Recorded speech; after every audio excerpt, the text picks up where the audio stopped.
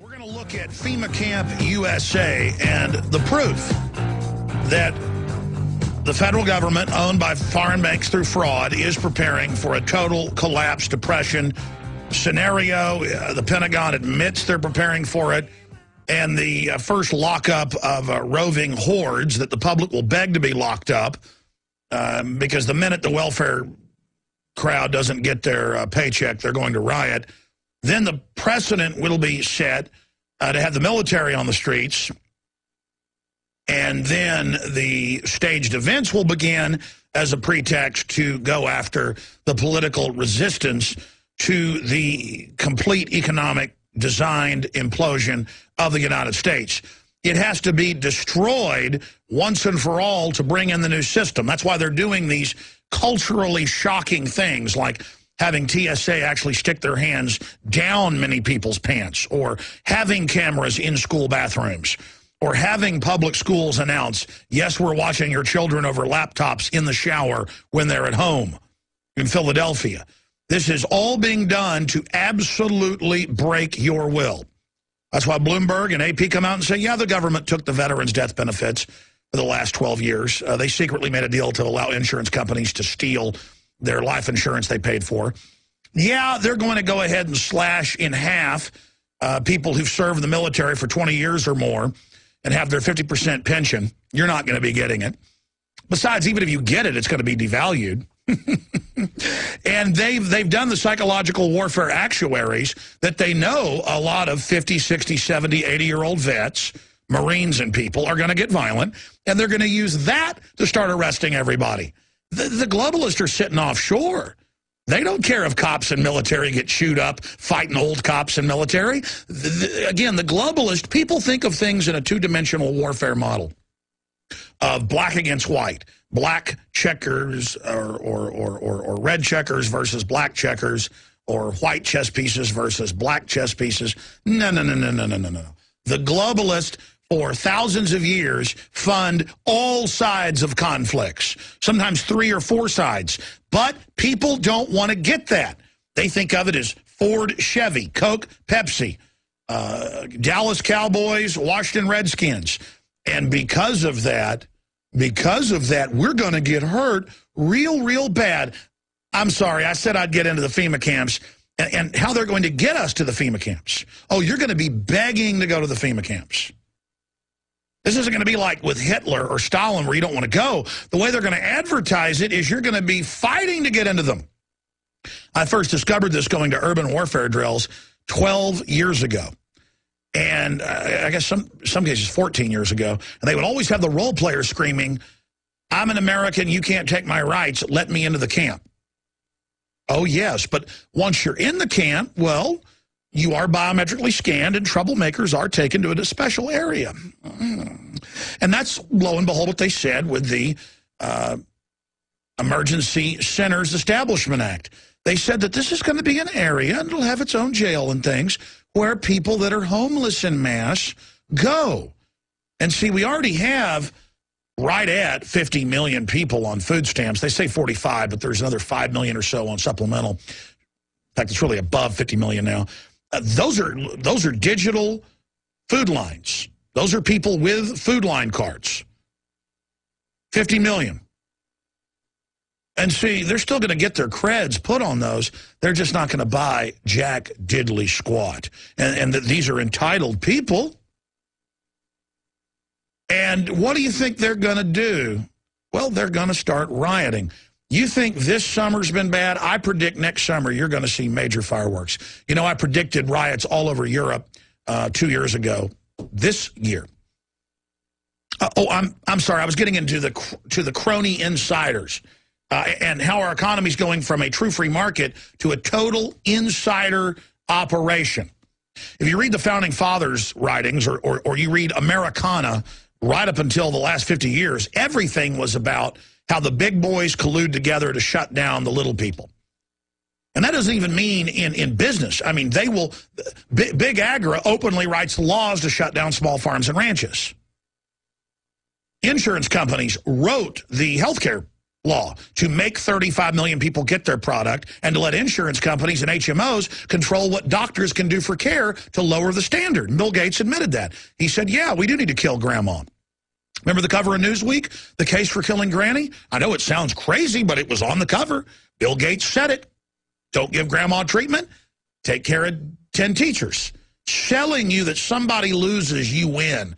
The minute you have that attitude, civilization falls. The minute you give into corruption just a little bit, suddenly it races through the system.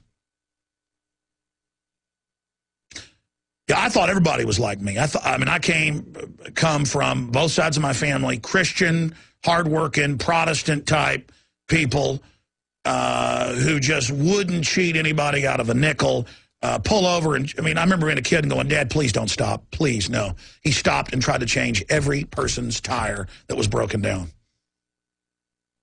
Road trips were, were hell a few times people tried to rob him in the last few years, so he stopped. That's all part of the collapse of society. But I come from goody two-shoes, you know? I'm a weirdo. You see, I grew up, and when I saw cops dealing drugs going to high school in Dallas, I got mad and spoke about it. So they let my dad know, we're going to kill your son if you don't leave town. And we moved to Austin. I, I guess I've kind of got a Serpico-type lifestyle uh, history. I We had Frank Serpico, the legendary detective, on Friday. So see, I guess this is what America wants. People think corruption's cute and fun. You're going to find out, folks. You're, I mean, this country is going to be judged. You want to say 51 million aborted babies aren't humans? The government's going to say you're not a human. Everything we do, every lie we go along with comes back on us. And nobody should forget that. You think I'm proud of the fact that we're right about everything we talk about? No, I, am I'm not proud of that. It's very sad, very painful. It's very painful to have everything I've analyzed coming true and only confirming. Only confirming it.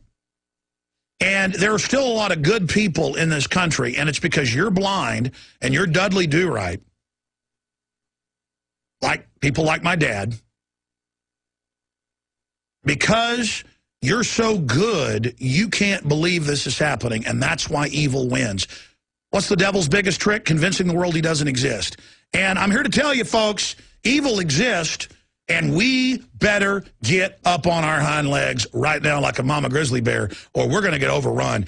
Every country on earth has had mass arrest, mass exterminations, and killings every hundred years or so. The United States has been a rare jewel, despite the fact we've had some problems. If you study history, ladies and gentlemen, you know what is about to unfold in this country. What is now beginning to unfold is the norm, not the exception. You need to understand, we now have a criminal government filled with criminals or Dudley Do-Right idiots who are compartmentalized and don't realize what they're helping happen. Now, now again, here's here's the Worth Star Telegram.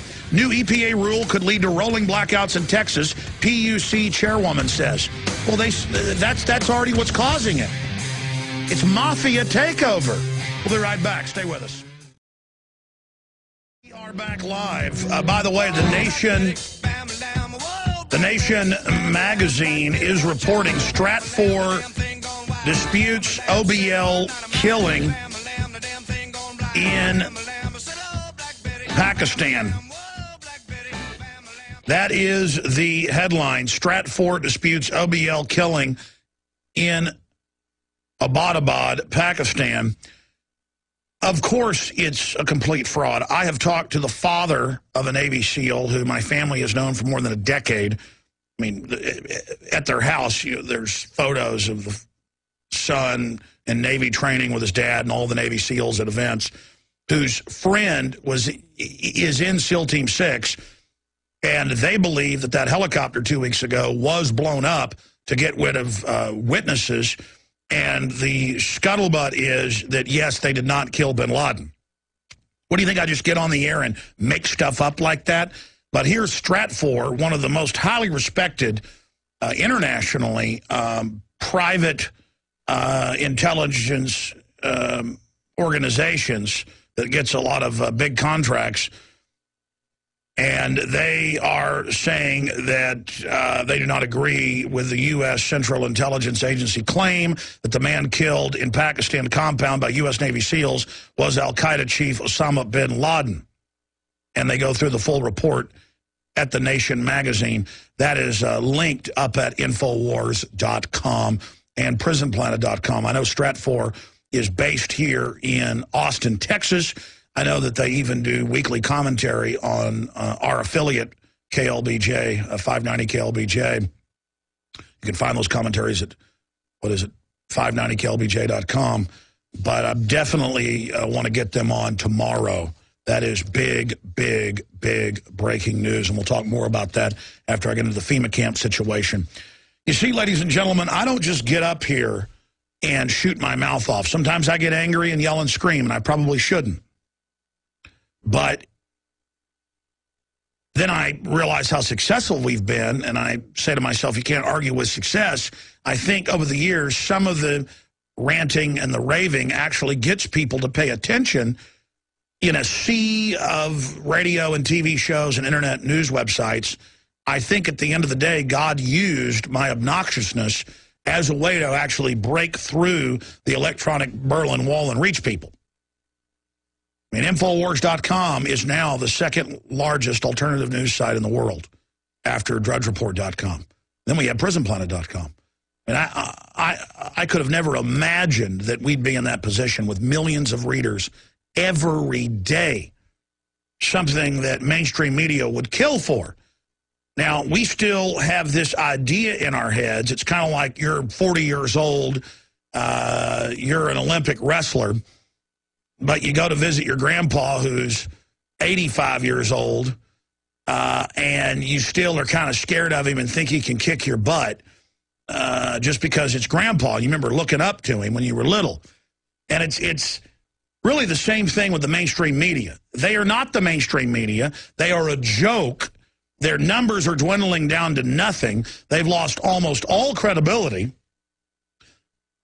And that's why they're teaming up with the government now to promote the internet kill switches and shutting off cell phones during protest in San Francisco. And um,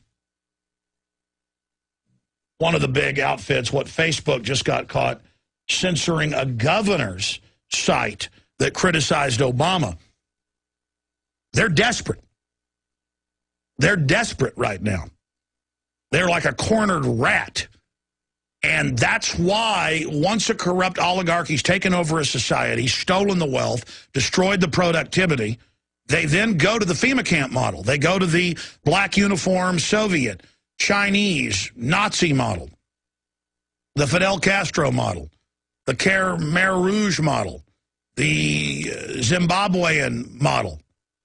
That's the model about 95% of the time in history. They go to that model, and they live in their private palaces, and you live as a third world slave. You know, uh, the dictator of Romania, Ceausescu, was interviewed, and they said, why do you only give the entire country power maybe two, three hours a day? And he said, because I might as well just charge him more for less. This is how I teach him who's boss. Same thing in North Korea. They enjoy cutting off our power. They enjoy restricting us. Uh, can you imagine being General Electric and being given the waiver to build new plants and keep their old plants operating, but then to be able to shut down all their competition? I mean, you know diamonds all over Africa are on the ground. You can pan for them in rivers like, like uh, gold. You know diamonds on a real chart of gems are in the semi-precious range. They're not even at the top of the semi-precious range. They're down in the middle. They're like agate or something. But agate is all over the world. Diamonds are only in a few places. Now, they did discover a hoard in several areas uh, of Arkansas. I knew about this a decade before it was admitted in the news. Um, my dad has friends from college in the diamond business, some of the biggest, um, who, who, would talk about how evil uh, the Oppenheimers and De Beers were and how they ran this world monopoly of diamonds. But when they did find diamonds in Arkansas, then they found diamonds in Canada. Both cases with this French family that my dad, uh, you know, knew going way back to college days and then Dallas. In both cases, they would come in and have the government announce it to be an environmental preserve, even if it was land they bought, and the government would move to block them. But then they were still able, in one case, to sell the property they bought to the government for three billion. dollars. Oh, that's the best part.